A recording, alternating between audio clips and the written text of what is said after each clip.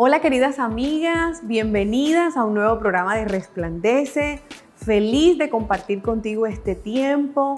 Recuerda seguirnos en nuestras redes sociales, en Instagram, Resplandece IMD, y allí puedes consultar también en el perfil el link que te lleva a ver todos nuestros programas. No olvides también recomendarnos con tus amigas y puedes seguirnos en las redes de la Iglesia Manantial de Dios, en Instagram, Facebook y YouTube.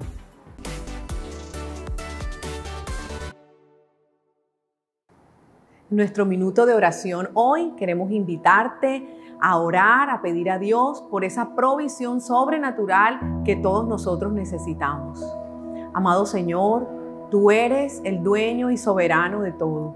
Queremos pedirte de manera especial, Señor, que tú que conoces la necesidad de cada uno, seas tú, Padre, propicio a esa necesidad. Y hoy por la fe lo creemos, Señor que tú le das a cada uno lo que necesita. Oramos, Señor, por milagros, oramos por provisión sobrenatural, que vengan, que venga ese salario, esas oportunidades de negocios, que seas tú, Señor, poniendo el pan en nuestra mesa. Gracias, Señor, porque hoy por la fe declaramos que son multiplicadas las fuentes de provisión, los ingresos, aún los clientes y los negocios. En el nombre de Jesús, amén. Los hijos son un regalo del Señor, son una recompensa de su parte. Los hijos que le nacen a un hombre joven son como flechas en manos de un guerrero. Salmo 127, 3 y 4. Y nuestra pregunta para hoy es, ¿cómo cuidamos ese regalo maravilloso que Dios nos entregó, nuestros hijos? Para responder esta pregunta, acompáñeme a recibir a nuestra invitada especial de hoy. Ibe Reina, nuestra directora del Ministerio de Manantial Kids de Manantial. Estamos felices de tenerte aquí, Ibe, gracias. Gracias a ustedes por haberme invitado. Estoy muy feliz de estar acá también con usted y con todas las mujeres que nos están viendo en este momento. Qué chévere. Ibe, ¿cómo nosotros los padres logramos que esas flechas, esos regalos que Dios nos entregó, eh, lleguen al blanco, den al blanco y cumplan el propósito que Dios estableció en nuestros hijos? Bueno, como usted acaba, como acabamos de ver el versículo Salmo 127, ¿sí? donde dice que los hijos son como una flecha en las manos de un guerrero. Dios nos ha llamado a nosotros como padres a ser esos guerreros valientes. Y un guerrero valiente hace tres cosas con esa flecha. Lo primero que hace es que la talla. ¿Y cómo tallamos esa flecha? Esa flecha la tallamos nosotros cuidando a, nuestros niños a, la luz de la palabra, enseñándoles los valores, los principios que están en la palabra de Dios, no guiándonos a través de lo que dice la sociedad y lo que dice el mundo. Segundo, nosotros como, como esos guerreros debemos direccionar esa flecha. La palabra del Señor dice en Proverbios 22, 6, instruye al niño en sus caminos y aún cuando fuere viejo nunca se apartará de él.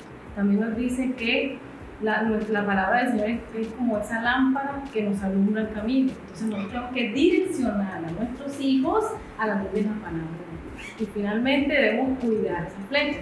¿Y cómo la cuidamos? Con nuestro ejemplo.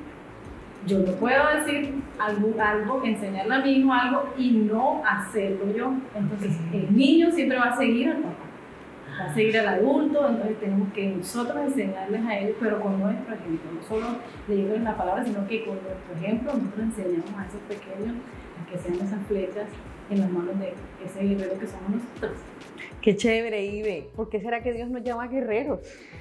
Bueno, realmente un guerrero libra cada día una batalla. Okay. Nosotros con nuestros hijos pasar del tiempo en una batalla que vamos a ir librando, edad tras edad, temporada tras temporada, nosotros vamos a librar batallas con ellos. Y por eso Dios nos llama guerreros, y no solo guerreros, guerreros valientes. Pero qué lindo, me gusta cómo Dios nos muestra y dice que somos guerreros que portamos, que cargamos, que somos los encargados de cuidar esas flechas.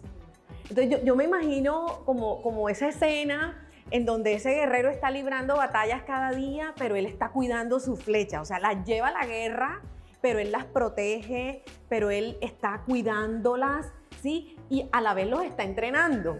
Exactamente, también la palabra nos dice que no debemos exasperar a nuestros hijos. Entonces, cuidar esa flecha también es no exasperar. Es conocer qué le agrada, cómo aprende, conocer cuál es su lenguaje de amor. No todos los niños o no todos nosotros tenemos un mismo lenguaje de amor. Entonces, cuando estamos pequeños, también debemos tener en cuenta que cada niño aprende diferente, cada niño siente el amor diferente. Y también, al cuidarlos, nosotros tenemos que tener en cuenta eso, cómo, cómo mi hijo siente el amor mío, así mismo va el niño a decir cómo siente el amor de Dios, cómo lo va a sentir si vemos a su papá y a su mamá que tienen pendiente eso, que por ejemplo, hay niños que les gustan los detalles, hay otros que les gusta el tiempo de calidad. A otros las palabras. A otros les gustan las palabras de afirmación. Entonces, como padres estamos llamados a eso, a conocer ese lenguaje de amor. Y cada día, cada temporada, ir nosotros haciendo eso. ¿Para qué? Para que esos niños vayan creciendo y también ellos quieran ser esos guerreros que hoy somos nosotros. Pero qué lindo algo que tú decías de cómo se talla esa flecha y es que eh, mi hijo no va a poder aprender solo porque yo se lo diga.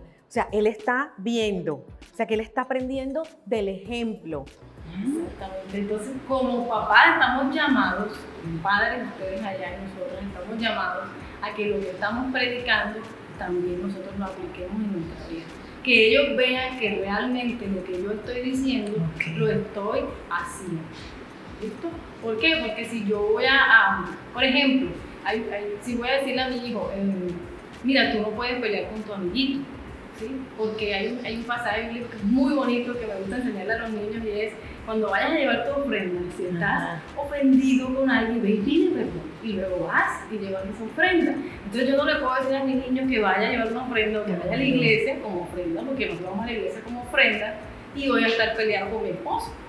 Yo tengo que pedir perdón primero y luego si voy y llevo mi ofrenda o me ofrezco yo en sacrificio vivo de alabanza en mi iglesia. Ay, cuando tú nos hablas de no exasperar a los hijos, ¿qué cosas exasperan a nuestros hijos? ¿Qué cosas exasperan? Por ejemplo, cuando ellos sienten que hay un castigo injusto, eso no les gusta. Eso se pone muy, se enojan muchísimo. Cuando, por ejemplo, te están hablando y tú no le, no le escuchas o no lo miras. Cuando, por ejemplo, también nosotros queremos que él haga, algo, ¿sí? Que haga algo rápido, pero ya, ya, entonces también se exasperan por esas cosas. Entonces es mejor eh, acercarnos a ellos, preguntarle qué tienen, qué sienten, por qué esa actitud, y sí, ya luego escucharlo y atender a esa necesidad que el niño en ese momento tiene. ¿Sí? Porque tal vez esté exasperado porque algo nosotros le dijimos que a él no le gustó, entonces preguntarle ¿sí? ¿Por qué, está, qué, emoción siente, qué está sintiendo en ese momento y ayudarle si podemos ahí aprovechar y predicarle, no como predicar aquí en la iglesia o en algún lugar, sino enseñarle, aprovechar cada instante de nuestra vida con nuestros hijos es una oportunidad para enseñarles la palabra de Dios. Qué lindo. Y ve, y en esas promesas que todos los días nosotros podemos declarar sobre los niños, ¿qué nos recomiendas tú? No sé, un devocional en familia, oración a la hora de la comida, o de pronto lo que tú nos decías, que en cada instante estemos como recordando la palabra y enseñando. Cada, cada situación cada experiencia que tienen ellos es una oportunidad para nosotros enseñarles los valores a, la luz de la palabra. Entonces sí es bueno tener esos devocionales, esos tiempos con ellos, es bueno leerle las palabras de Dios, contarles las historias, pero también, como aprendí en estos días, llevar ese, ese mundo concreto del niño al mundo de la palabra de Dios, que es bastante abstracto, lo debemos hacer con cuentos, con historietas de la vida real y después descargarlo a la luz de la palabra de Dios.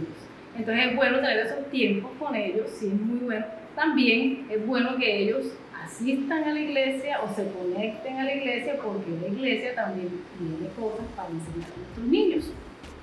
¿Sí? Entonces yo no sé si queremos, quiere que declaremos.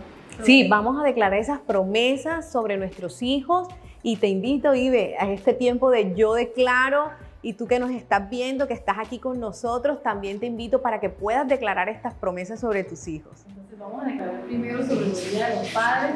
Señor, yo te pido en el nombre de Jesús y declaramos ahora mismo, Padre, que cada persona, cada mujer, cada hombre que está conectado, escuchando, Señor, esta enseñanza, tú le des la fuerza, Señor, de ese guerrero valiente, que ellos puedan, Señor, lanzar esa flecha lo más lejos posible, Dios, lo más lejos, más que ellos, Señor Y te pido en el nombre de Jesús también que tú guardes a cada pequeño. Y hoy declaramos sobre ella, cada pequeño, ella conmigo, yo declaro que mi hijo va hacia adelante y nunca hacia atrás, que va hacia arriba, que nunca hacia abajo, que es un niño conforme al corazón de Dios, que ama la palabra de Dios, que le gusta la palabra de Dios, que ama estar en su casa, que ama todo lo que tú le has regalado, Señor. Además de eso, es un niño de los cielos que va a crecer en gracia, en sabiduría y en conocimiento tuyo, en el nombre de Jesús.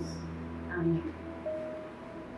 Y ve, gracias por estar con nosotros, por estas enseñanzas maravillosas que nos das y sobre todo por esto de tu corazón para ministrar también a las mamitas, a los papitos y a todos los niños.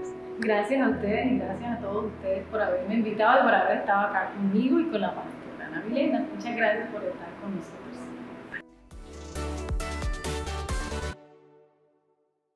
Y llegamos al final de nuestro programa, no sin antes enseñarte nuestros recomendados de esta semana. Hoy puedes leer Cómo desarrollar el temperamento de su hijo de Beverly Lahai y Mujer segura de sí misma de Joyce Meyer. Gracias por estar con nosotros. Recuerda seguirnos en nuestras redes sociales y hasta una próxima oportunidad. Nos vemos.